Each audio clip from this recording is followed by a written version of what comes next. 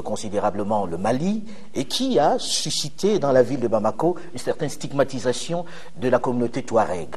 Aujourd'hui, l'on se pose la question de savoir si des élections auront lieu au Mali cette année, puisqu'elles devraient se tenir le 29 avril prochain.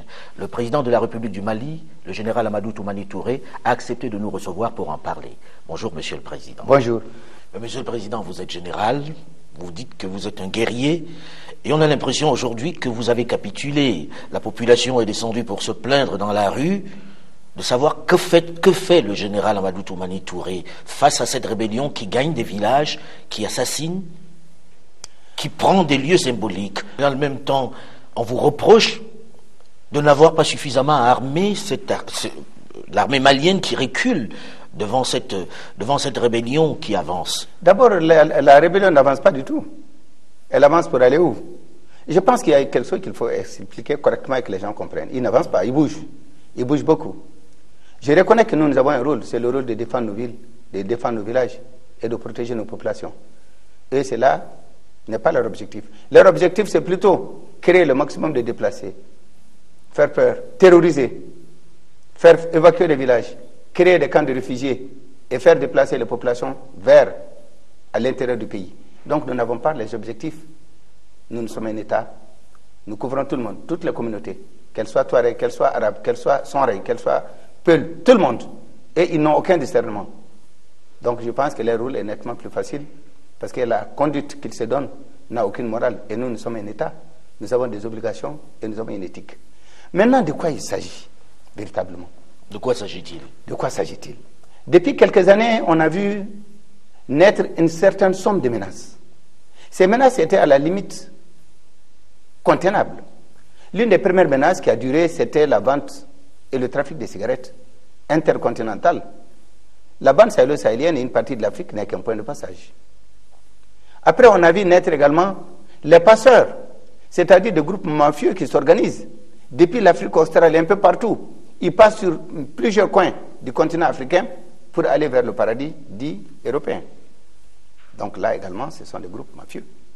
Le troisième groupe, ce sont les narcotrafiquants. Ces narcotrafiquants, c'est des bandes qui reçoivent des colis de drogue par avion, par bateau. Quelqu'un m'a même vu parfois par sous-marin, qui tombent sur la côte ouest de l'Afrique et qui viennent de l'Amérique latine et qui sont convoyés par ces groupes et des barons, plus ou moins connus, et qui ont également des sous-traitants qui ont un rôle de conduire cette drogue vers le continent européen, vers le Proche-Orient, le Moyen-Orient et un peu plus loin. Et ce groupe également est un groupe particulièrement important, qui s'est enrichi sur la poudre, qui a créé une certaine forme de commerce à eux, et qui est un commerce qui génère énormément, qui les permet d'avoir des complices, qui les permet d'avoir des supplétifs, qui les permet d'avoir des armes, qui les permet d'avoir des quantités extrêmement importantes de munitions. C'est eux d'ailleurs qui soutiennent la logistique de toute cette armée que nous avons face à nous aujourd'hui. C'est là également, il faut tenir compte. Mais il y a également ACMI.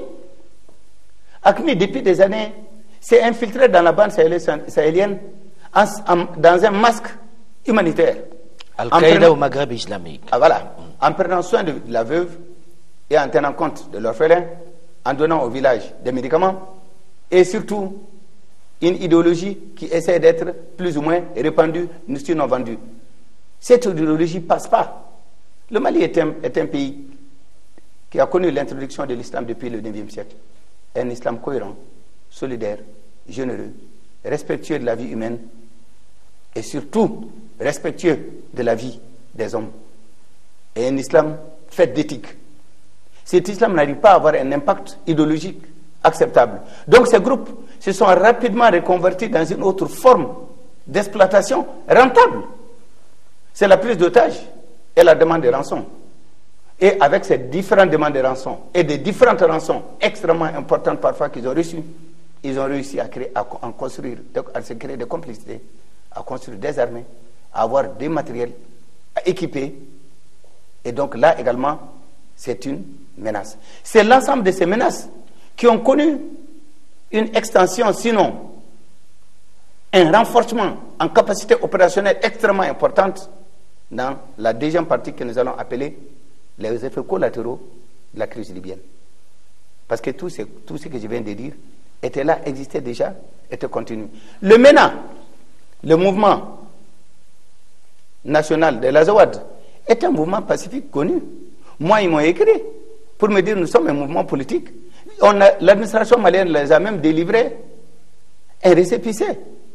Ils ont un mouvement, ils ont des idées. Le Mali est un pays libre, démocratique. Nous acceptons les contradictions et nous acceptons que chacun se batte pour les idées et pour sa vision. Mais à partir de là, il y a eu une nouvelle donne. Cette nouvelle donne, c'est ce que j'appellerais les effets collatéraux de la crise libyenne. Brutalement, la crise éclate en Libye. La Libye, il faut reconnaître, est, un pays surarmé, contenant à plusieurs lieux des caches d'armes et de munitions extrêmement importantes.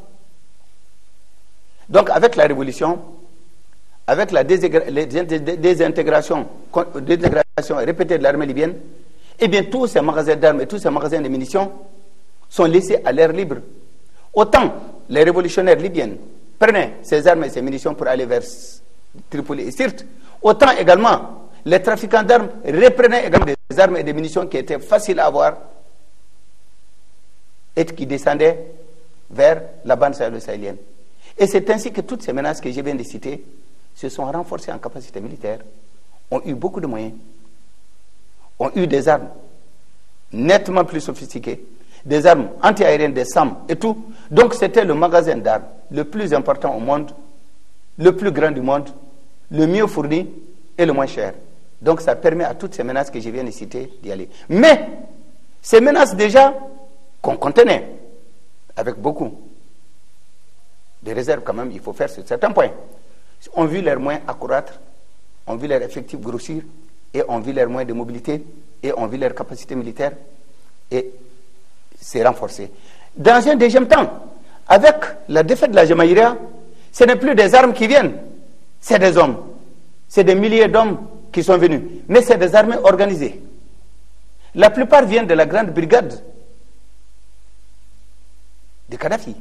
Et cette brigade super armée et bien organisée, qui était l'un des bastions et qui a été l'un des remparts et les derniers remparts de la lutte sur Sirte, aussi bien que Tripoli. Ces gens sont venus en grande masse et ont déferlé dans la bande sahélo-sahélienne. Et la bande sahélo-sahélienne, c'est la Mauritanie, le Mali, un peu le Burkina, le Niger, l'Algérie, le Tchad, la Libye et le Soudan. Vous parlez du trafic de drogue, le passage vers l'Occident, le passage vers l'Europe pour vendre de la drogue qui arrive d'Amérique latine.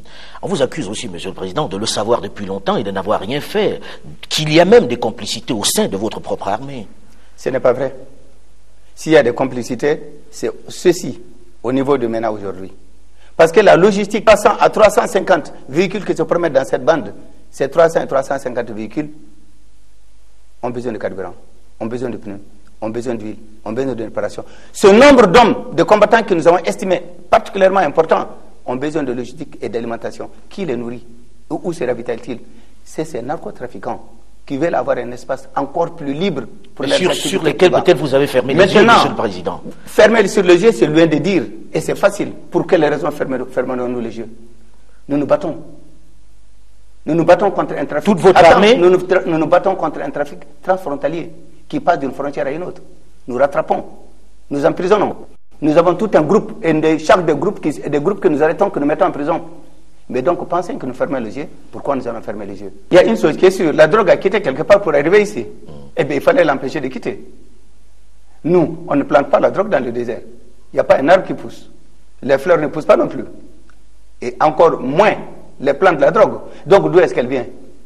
La drogue est intercontinentale. Elle ne nous est pas destinée. Nous n'en consommons pas chez nous. Nous sommes une zone de passage. Malgré nous. Mais sûr et certain que si on ferme le départ et que l'arrivée également ne reçoit pas, eh bien le trafic va cesser.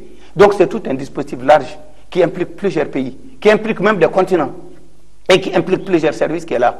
Chacun a une part de responsabilité. Donc dire qu'on ferme les yeux, c'est trop dire. Nous nous battons avec les moyens que nous avons. Alors après la drogue, il y a la rébellion Touareg. La rébellion Touareg qui réclame aujourd'hui l'indépendance de cette région dite de l'Azawad. Est-ce que cette revendication, vous l'avez prise au sérieux? Est-ce que vous en avez suffisamment discuté?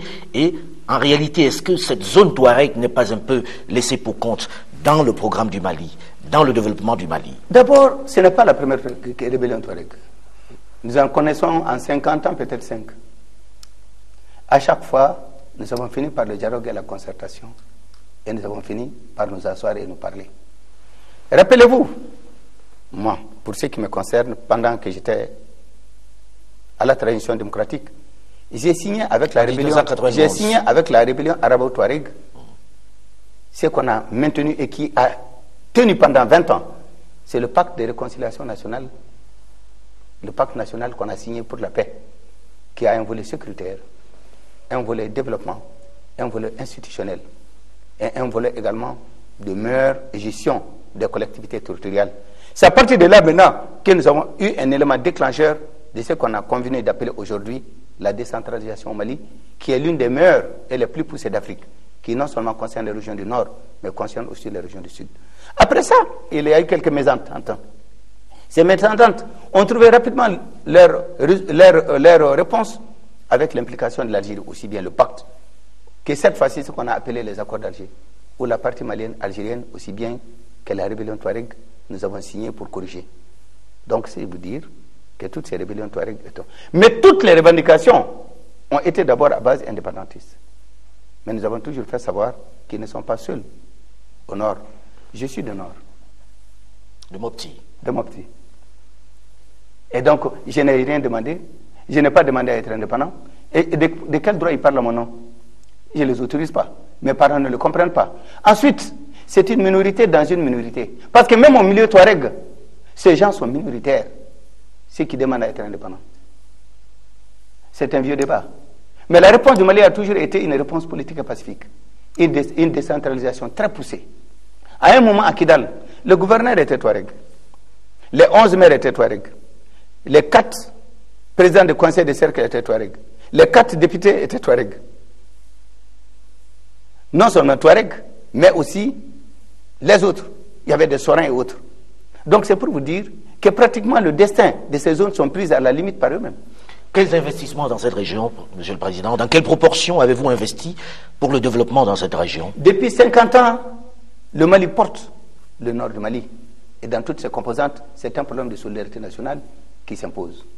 Je prends pour ceux qui disent très souvent que, mais au fond, c'est un déficit de développement. Je m'inscris en faux. Pourquoi? Je vous donne deux, trois exemples. Dans un premier temps, il faut dire de tout le temps. Si vous prenez les recettes fiscales Kidal, ça ne paye pas l'hôpital qui est là. Donc c'est une solidarité nationale. Le budget et le paiement des fonctionnaires, tout, est intégralement supporté par le budget d'État, c'est-à-dire ce sont les autres régions du Mali qui payent tout à fait normal dans une cagnotte de solidarité nationale. Ça, c'est depuis 50 ans. Mais je vais vous donner un autre point. Lorsque nous avons fait les accords d'Alger, il y a eu le forum, le forum de Kidal. Le forum de Kidal a regroupé plus de 120 à 150 participants venus de tous les coins, de toutes les organisations internationales, des bailleurs de fonds, des ONG, du gouvernement de la République et des représentants des anciennes rébellions. Nous avons défini 39 projets pour les, régions nord. Toutes les préoccupations importantes ont été prises. Ça nous dégageait un budget d'à peu près 840 milliards de francs CFA. Nous avons pu mobiliser 550 milliards. Qu'est-ce qui a manqué? Le temps de travailler. Lorsque vous payez, vous payez une ambulance, il l'enlève. Lorsque vous mettez des machines pour faire des forages, on vole les, machines et les véhicules. Donc, en définitive, on ne peut pas se battre pour un développement et refuser, et voler ces développements ou refuser ces développements par certains groupes qui sont toujours marginaux. Parce que je ne parle pas de la communauté de Fareg, pour qui j'ai beaucoup de respect, mais je parle également d'une bande qui a su faire du problème du Nord un fonds de commerce. Sans ce fonds de commerce, il n'existe pas. Et chaque fois, comme si c'est récurrent chaque 10, 10, 20 ans, ce sont les mêmes qui reviennent. Ceux contre lesquels on s'est battu en 1991, ce sont les mêmes qui sont là. Mais avec au moins une moitié qui est plutôt du côté du gouvernement de la République du Mali. Dans un deuxième temps, nous avons ce qu'on a appelé le PSPDN. C'est le nouveau projet que nous avons dégagé dans le cadre de la lutte contre la drogue, contre le terrorisme, contre le banditisme transfrontalier. C'est un programme et une politique cette politique a dégagé un programme est bâtie sur deux, trois pieds.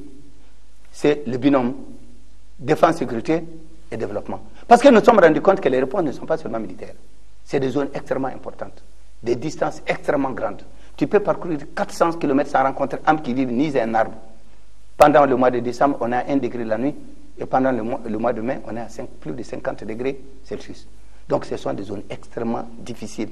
Et la densité et la démographie est presque nulle. Donc faites-vous une idée de, comment on appelle, de la zone géographique auquel on a affaire. Alors avec le PSBDN, c'est 36 milliards de francs CFA qui ont été dégagés, dont l'argent est dans nos mains. Et nous sommes en train d'investir, nous sommes en train de rapprocher l'administration. Nous sommes en train de construire des centres de santé. Nous sommes en train de construire des puits, des forages et tout.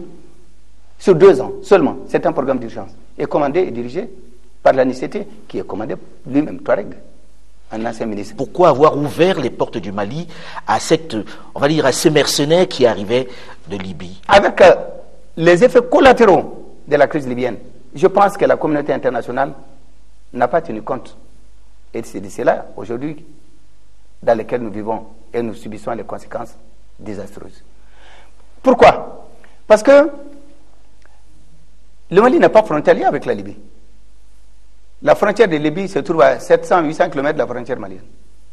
Donc, en définitive, une zone opérationnelle comme la Libye qui été tenue, que des centaines et des centaines de véhicules se déplacent sur une distance aussi importante, ne devait pas échapper, en tout cas aux, à l'œil satellite des belligérants.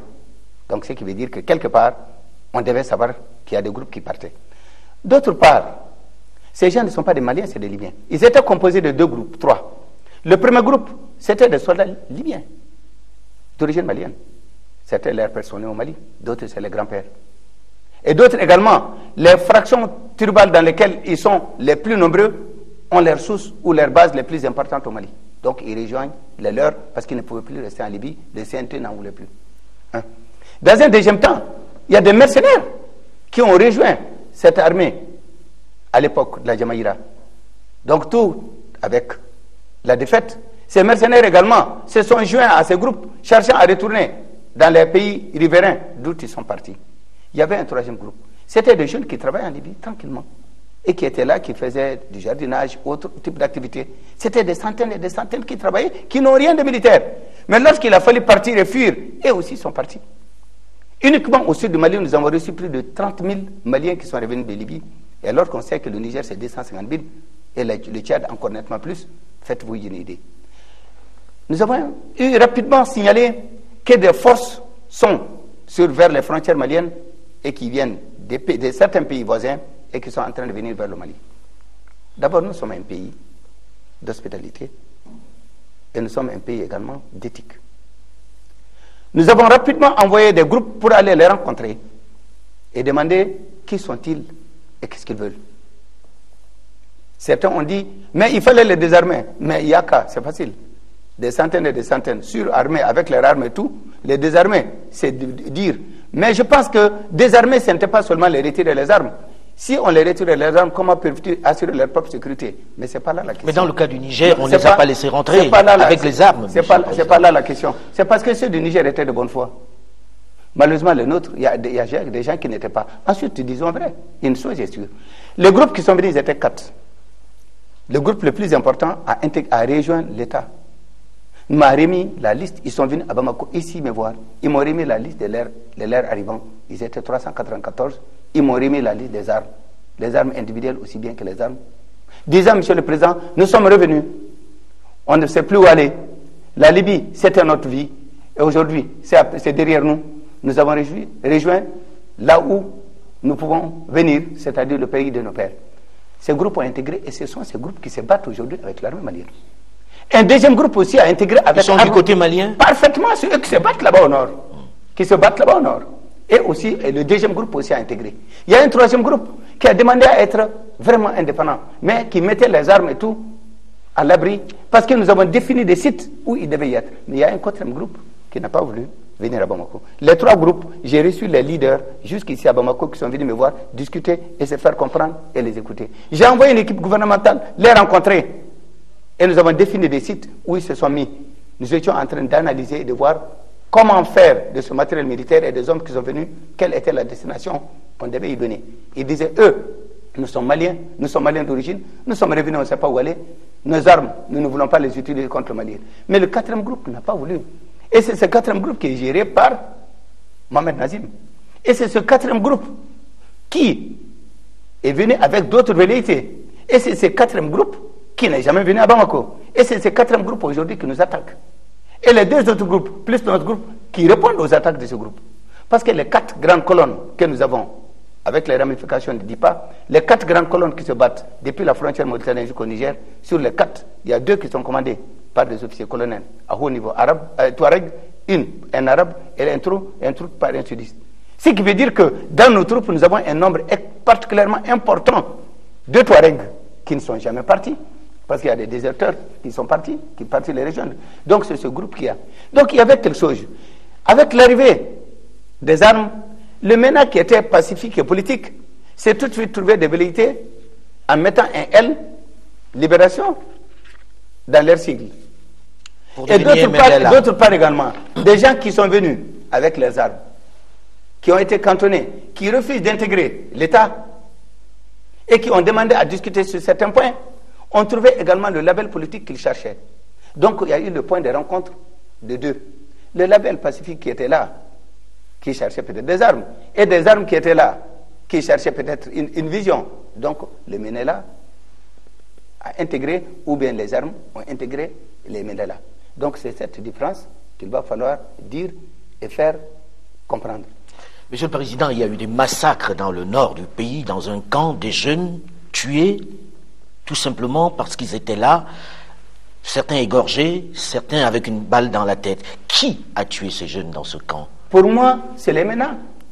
Les MENA a, revendiqué une victoire dans un camp. Ils ont attaqué quatre sites. Menaka, Aguelok, qui est en plein territoire vers la frontière, une, zone particulièrement montagneuse, ils ont attaqué Tessalit et ils ont attaqué les riz. Ils ont attaqué les riz. Et ils ont attaqué Andarboukan. Mais, à c'était un désastre. À était une garnison où nous avons une école secondaire qui était le creuset de notre unité nationale. Celui de Sigassou de il était là-bas en plein avec celui du désert, qui est venu du désert et de Tombouctou et d'ailleurs. C'était une école de formation de maîtres qui n'a jamais connu, malgré toutes les turbitudes de nos différentes rébellions Touareg et du reste, n'a jamais été touchée. Donc c'était un symbole de cette région d'une unité nationale et du creuset de jeunes que nous formons pour, pour le Mali demain. Et donc il y avait une garnison. Cette garnison a été attaquée par des terroristes islamistes, par des gens d'Akmi. Comment vous savez que c'est des gens d'Akmi Comment vous arrivez à faire la différence entre cela et la rébellion Touareg dont D'abord, il y a deux choses. Les modes d'action, les survivants, les témoins. Parce que nous avons ouvert une commission d'enquête. Nous avons les films de l'action, en tout cas pour ce qui concerne les images. Nous avons dressé un dossier. Nous avons repris les plaintes des différents parents. Le mode d'action, c'est quoi? Pendant une semaine, ce camp a résisté. Et malgré les renforts également que l'armée malienne a tenté, qui s'est battu pendant une semaine, également, nous n'avons pas réussi à intégrer cette zone de forteresse extrêmement bien prise, où ils avaient entouré de leurs forces, et donc même le matériel de renfort qui était là, même ce groupe de renforts a perdu près de 10. Donc en définitive, à un certain moment, le renfort n'a pas pu pénétrer. Nous le reconnaissons. Et le matériel logistique que nous devons amener pour soutenir a été détruit pendant les combats. Donc il fallait trouver une autre solution avec un repli de ceux qui, eux aussi, étaient déjà dans la bataille, ce qui n'était pas une chose. Les jeunes gens ont tenu avec brio. Ils ont refusé de se rendre. Ils ont tenu à garder les lieux jusqu'au bout. Ces groupes, c'était des, Noirs du Sud. C'était des Arabes du Mali. C'était des Touaregs également du Mali qui combattent du côté. Ce n'est pas tous les Touaregs sont partis. C'est une infime partie qui est partie. Donc, ils ont voulu négocier la réduction de ce camp. Le camp a refusé de se rendre. D'autres renforts étaient déjà partis. Mais le camp était dans une situation où le camp est tombé. Le camp est tombé, qu'est-ce qu'ils ont fait? Ils ont aligné près de 60 à 70 jeunes, les mains liées derrière le dos. Ils ont mis une balle dans la tête de chacun de ces jeunes. Des jeunes de 18 à 22 ans, qui n'ont rien demandé. Et même le groupe arabe qui était là, tous les Arabes qui étaient là-bas ont été soit éventrés ou égorgés. Soldats arabes maliens ou soldats touareg maliens. Parce que ce n'était pas tout le monde qui était avec eux. C'est le mode d'action, les images, les témoignages qui d'abord nous affirment que la légion qui a attaqué était une légion par leur habillement, par leur tenue, par leur comportement, par le mode d'action. Et c'est simple. Cela aurait été fait par l'État. Nous aurons eu une communauté internationale aujourd'hui qui nous aurait exigé une commission d'enquête internationale pour venir voir ce qu'il y a. Mais pour quelles raisons si c'est fait contre l'État? Pourquoi c'est seulement l'État? Mais lorsque d'autres le font, pour quelles raisons ne vont-ils pas venir avec cette communauté internationale? Vous avez l'impression que la communauté internationale n'intervient pas suffisamment, ne réagit pas Absolument. avec... Parce que j'étais sûr que si c'était l'État, on nous aurait demandé des comptes. Eh bien, si c'est les autres, pourquoi ne pas le demander? Pour ceux qui encore continuent à entretenir le doute, pour quelle raison ne pas mettre une commission d'enquête et venir vérifier ce qui s'est passé? Nous avons tous les éléments. Nous avons tous les éléments de preuve qui peuvent être mis à l'instruction. C'est le MNLA qui a, qui revendiqué la victoire de Aguelok. S'il revendique la victoire de Aguelok, mais comment peut-il se départir des atrocités et du crime de guerre de Aguelok Je ne les accuse pas formellement, directement, à eux de se défendre. Mais dans tous les cas, s'ils réclament et revendiquent une victoire, il va falloir également qu'il les, revendique également les crimes qui ont été perpétrés. Donc la communauté internationale, ce n'est pas seulement aux États qu'il faut demander des comptes, mais il faut demander des comptes aux autres aussi. Et dans cette affaire, nous pensons que la communauté internationale doit demander des comptes. Parce que nous sommes convaincus que si c'était l'État, on nous aurait tombé sur la tête rapidement avec toute sortes de commissions. Alors, est-ce que ce discours, Monsieur le Président, ne contribue pas à stigmatiser les Touaregs de l'ensemble du pays? On a vu ici, à, à Bamako, quasiment une ratonnade. Non. Je pense qu'il y a une extrapolation et là, beaucoup de Touaregs qui sont partis sont déjà revenus. Il y a une crainte. il y en a beaucoup qui sont partis, qui ne sont pas revenus, monsieur Il y a beaucoup également qui sont en train de revenir. Il y a beaucoup également que je suis parti faire chercher.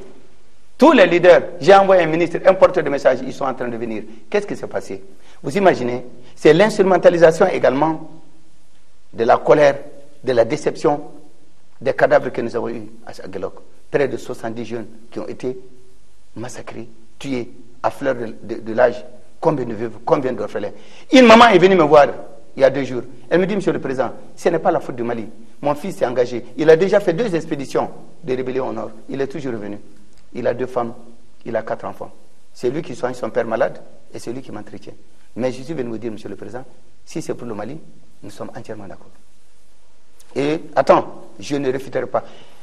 La colère de tout a été instrumentalisée par des groupes fondamentalistes maliens, classiques aussi, et politiques, qui ont fait de ça un fonds de commerce aussi, il faut le dire. Et c'est cette colère qui a exacerbé les uns et les autres.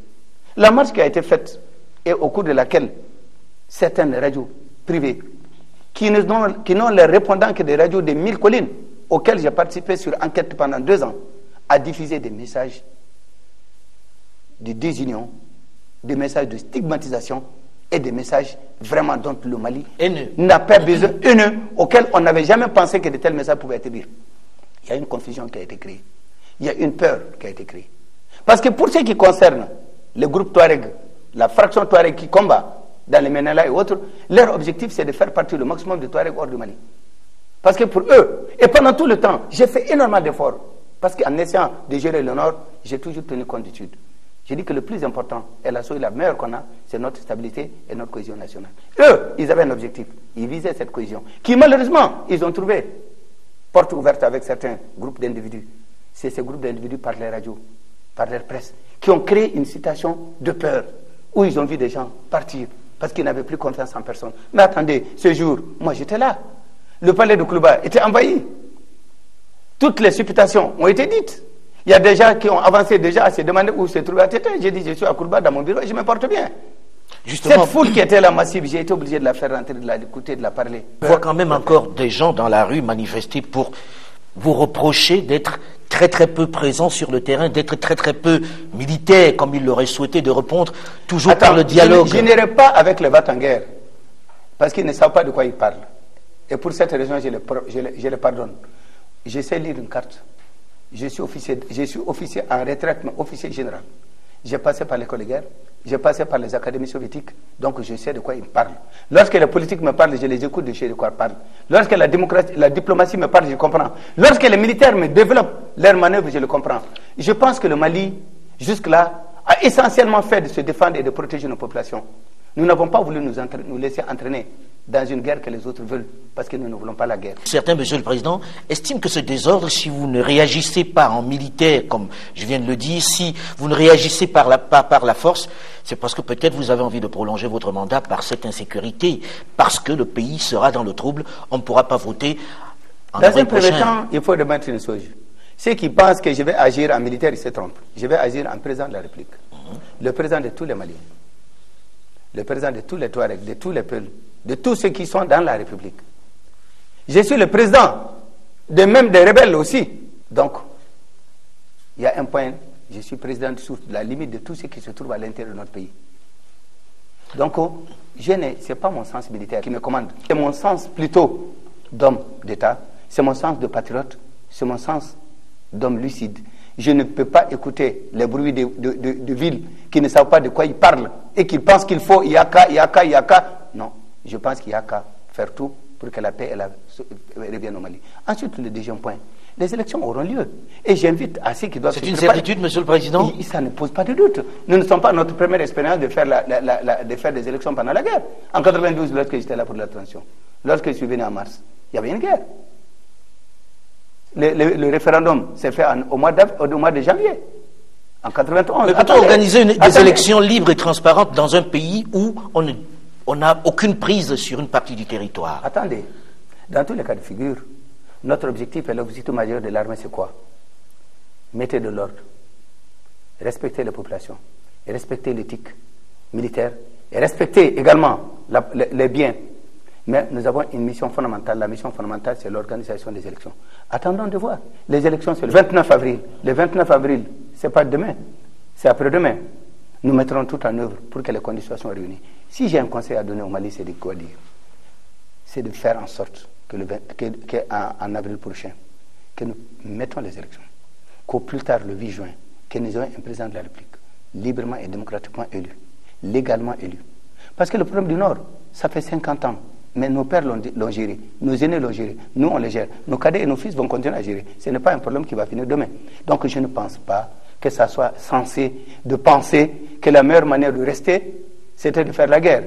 S'il y avait à choisir entre le Mali et la guerre, je choisirais le Mali. Je suis prêt à partir, je m'en irai. Et je souhaite de tout mon cœur que le Mali ait un président démocratiquement élu. Et je pense que c'est là extrêmement important. C'est une victoire, et la victoire qui est plus importante que la victoire militaire. C'est une victoire de la démocratie, c'est une victoire des institutions. Maintenant, ceux qui sont en train d'aller sur d'autres terrains, c'est leur terrain eux. Nous avons le temps de voir venir. Alors, certains ont parlé de transition, Monsieur le Président. Est-ce que c'est envisageable une transition dans cette période C'est complètement fou. Une transition par rapport à quoi? Qu'est-ce qui va définir cette transition? Qui va la faire? Elle va durer combien de temps? Et qui seront les membres? Il y en a qui sont tellement pressés d'être ministres ou de faire partie d'une organisation. Il y a des gens qui sont convaincus que par la voie des élections, ils ne parviendront jamais au pouvoir. Ce sont eux qui parlent de transition. Transition pourquoi?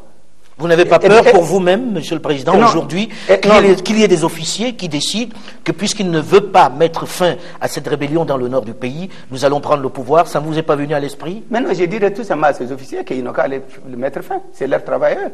Nous les avons armés, ils sont payés et nous les avons organisés, nous les avons donné les moyens militaires. C'est à eux de mettre fin. Mais je veux une guerre propre et juste. Je ne veux pas de massacre de population, je ne veux pas d'exaction. Nous sommes un pays, une armée organisée. Ces officiers qui se posent cette question dont vous voulez parler, je pense que ce qu'ils doivent se poser, c'est de venir me voir pour me dire, Monsieur le Président, nous avons besoin de plus d'hélicoptères, nous avons besoin de plus de temps. C'est à eux. Ils ne sont pas venus vous voir pour ça, Monsieur le Président C'est à eux que revient le rôle. Ensuite, ces officiers dont tu parles, qui sont-ils? Je n'en ai jamais rencontré. Vous comprenez? Donc je voudrais que ça soit clair dans la tête de chacun. Il y a des gens qui sont déjà dans leur petit chemin. C'est parce qu'ils ne veulent pas qu'il y ait des élections. Et je pense que le plus mauvais service qu'on puisse mettre à notre pays, c'est de ne pas les organiser. Des hommes politiques locaux Des hommes politiques. Et tout. Et des ambitieux de tout bord et tout Takepi. Qui sont convaincus de ne jamais venir dans un pouvoir malien que par d'autres voies. Eh bien, que Dieu les empêche. Ensuite, j'ai dit à nos partenaires, le Mali est un exemple. Le Mali est une réussite démocratique. Le Mali est un pays stable. Nous connaissons les problèmes du Nord. Nous avons fait des bons extrêmement importants au plan économique et à tous les points. Faites en sorte d'aider ce pays. Soutenez-le. Il faut que le processus démocratique se passe. Une transition, je l'ai déjà fait et je sais de quoi il en ressort. Il ne ressort absolument rien du tout. Et je pense qu'il n'y a aucune règle Rien, et absolument rien. Même une guerre ne doit pas nous permettre de sortir dans les limites de la constitution malienne. C'est un conseil que je donne et c'est une mission que j'ai et c'est mon objectif principal et c'est à cela que je vais amener mon pays. Alors, vous êtes au bout de dix ans de mandat, dix ans de mandat où ACMI a grandi dans la région, s'est développé, est puissamment armé aujourd'hui. Est-ce que vous n'avez pas été un peu laxiste avec ce mouvement islamiste qui occupe le nord du, Mali? ACMI vient de tuer 70 jeunes maliens. Vous pensez que nous avons été laxistes? Il y a deux, trois ans, nous avons perdu une trentaine de jeunes maliens dans la guerre contre ACMI. Vous pensez que nous avons été laxistes? Seulement, je pense que pour nous, ACMI, c'est une menace venue d'ailleurs. C'est une menace aujourd'hui internationale. Et c'est une menace qui a des ramifications plus lointaines que nous le croit. Et ACMI est international et interrégional. Nous pensons que ACMI, pour le combattre, un seul pays n'a pas tous les moyens suffisants. Pas seulement militaires, mais tous les moyens suffisants. Et nous pensons que la guerre contre le terrorisme aussi n'est pas seulement militaire. C'est un problème de développement. C'est un problème de sécurité. C'est un problème également de défense. C'est quoi la solution alors contre ACMI La solution, nous l'avons. Depuis 2006, j'ai demandé une conférence des chefs d'État, je, je n'ai pas réussi à l'avoir. C'était pour qu'on dégage une vision, on a perdu six ans. ACMI est international et transfrontalier. Donc la réponse doit être transfrontalière. Comment voulez-vous que des hommes, comment, où est-ce qu'ils mangent? Où est-ce qu'ils se rebâtent Comment ils font pour vivre? Comment est-ce que tout se passe? Dans tous les cas, ils sont nettement loin des régions dites hospitalières pour ce qui concerne le cas malien. Moi, je pense qu'il faut qu'on sache les raisons garder. Ce n'est pas 300 ou 400 hommes qu'il faut aller nettoyer. Depuis 2006, moi, je les attends. Aujourd'hui, nous avons un état-major à Tamaracet. Nous avons deux officiers qui sont là-bas à cet état-major, du Niger, du Mali, de la Mauritanie et de l'Algérie.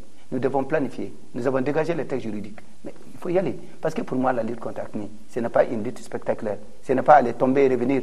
Ce n'est pas ça qui va résoudre la question. Des gens qui viennent se battre contre vous, en se disant que s'ils meurent, ils vont au paradis, ils n'ont aucune retenue. Mais par contre, lorsqu'on doit lutter contre un mouvement qui est transfrontalier, il faut des solutions transfrontalières. Mais pourquoi cette coopération a du mal à se mettre en place? On a vu des chefs d'État se réunir samedi dernier à Abuja pour en discuter. Est-ce qu'il en ressort quelque chose de Moi, concret? je pense que oui, il en ressort quelque chose. Il a reçu un soutien. La CDAO a donné un soutien politique et a transmis un message clair et net, une condamnation claire et nette. La CDAO, la communauté économique se des reconnaît de l'Ouest. Hmm? dans l'intégrité et l'unité nationale du Mali. Mais je pense que la bande sahélo-sahélienne, ce sont les États riverains qui sont les premiers. Ce sont eux qui subissent. Ce sont les premiers qui. Tout ce que nous allons avoir, c'est de l'appoint. Mais je pense que la, la- la guerre nous incombe. Raison pour laquelle le Mali s'est dit il faut une politique. Il faut aller loin. Il faut aller, tout- il faut aller tous ensemble. Il faut aller loin et il faut rester longtemps. Il faut occuper toute cette bande sahélo-sahélienne avec nos armées. Il faut aller pour un programme de 3, 4, un programme de 5 ans. Créons une cohabitation qui n'est pas profitable à Acme ou du reste. Prenons tout ce qu'il y a, occupons notre désert. Un seul pays n'a pas les moyens de le faire. Parce que les gens auront toujours le repli et les replis tactiques de pouvoir aller dans un autre pays voisin. Parce que ce sont des gens qui... Là où ils mangent à midi, ils ne déjeunent pas. Et là où ils déjeunent, ils ne dînent pas. Et là où ils dînent, ils ne dorment pas. Ce sont des gens en constant mouvement. Mouvement. Et donc de frontière à frontière. Et donc pour cela, il faut que tous ensemble on bloque. Le Mali est partisan de cela. Nous pensons, après l'Algérie, nous sommes certainement parmi les pays qui ont payé, en tout cas, le plus lourd tribut des atrocités et de la guerre contre Acme. Et lorsqu'on vient nous dire que vous ne faites pas assez, vous ne faites pas rien du tout, voilà ce qui nous est revenu. N'est-ce pas un peu frustrant de terminer son mandat sur ce climat de crise, dans cette situation de guerre dans le nord du pays? Mais vous savez que je suis venu également une fois dans une situation de crise. Donc je pense qu'en mars 91, il y avait la rébellion, il y avait la révolution et il y avait la rébellion. Et il y avait tout. Il y avait toutes les difficultés. Un jeune lieutenant-colonel avec son groupe, officiers, sous-officiers et les mouvements démocra- démocratiques, nous sommes venus, nous avons pris le Mali pendant 14 mois. Et à partir de là, nous avons mis en place un système démocratique et un processus qui aujourd'hui, 20 ans après, marche bien. Et donc, si je vais dans une crise aussi, eh bien, je pense que je ferai tout pour atténuer le maximum cette crise, mais m'en aller. Mais m'en aller. J'étais tellement heureux d'avoir fait ce pays. J'étais tellement fier de ce que nous avons réalisé. Moi-même, parfois, lorsque je regarde ce que le Mali a réalisé, je me dis, mais comment on a fait pour obtenir tout ça? Vous-même qui étiez à Bamako depuis combien de temps, vous ne sentez pas, vous ne, vous ne voyez même pas la guerre si vous ne lisez pas certains journaux. Les gens sont contents, ils vivent. Vous, vous avez la confiance de venir. Les forums s'organisent. Et la vie continue. Le nombre a quand même considérablement diminué de Mais non, non, non. Il y a certaines nationalités qui ne sont pas venues. Mais lorsque j'ai été à Tombouctou, une, une des fois, j'ai des gens qui sont venus d'Australie ou du Japon et j'ai été particulièrement impressionné. Ils ont dit si vous l'organisez, si vous, avez- si vous, vous l'organisez, nous, nous allons venir. Donc moi, je pense que c'est la vie. Elle est ainsi faite. Je suis venu dans un moment de crise pour aider le pays. Aujourd'hui, il y a des crises, c'est vrai, mais cela n'empêche pas la République de tourner. Nous avons quelques coups, nous avons quelques difficultés. Mais cela ne peut en aucune manière porter préjudice à la marche normale et régulière de l'État. J'aurais bien voulu vraiment aller avec un résultat brillant que nous avons obtenu, mais je pense qu'il faut dire que la vie également, c'est comme ça. Il y, a les difficultés, il y a les facilités, il y a le jour et la nuit. Mais j'espère que d'ici le 8 juin, lorsque je vais remettre le pouvoir au nouveau président de la République du Mali élu, j'espère que, encore une fois, la situation sera, même au nord, nettement meilleure à cela. Nous n'avons pas peur de concertation, nous n'avons pas peur de dialogue. Il y a deux ou trois choses qui ne se discutent pas. L'intégrité territoriale et l'unité du Mali. C'est moi qui suis le promoteur du pacte de réconciliation nationale le 11 avril 1980 1992. C'est moi qui suis le promoteur des accords d'Alger. Eh bien, si je dois être le promoteur de notre accord qui tienne compte de ces deux facteurs, tout le reste est discutable. Merci, Monsieur le Président, de nous avoir reçus. Merci d'avoir été aussi disponible. pour Je nous. vous en prie. Le débat africain, Alain Foucault.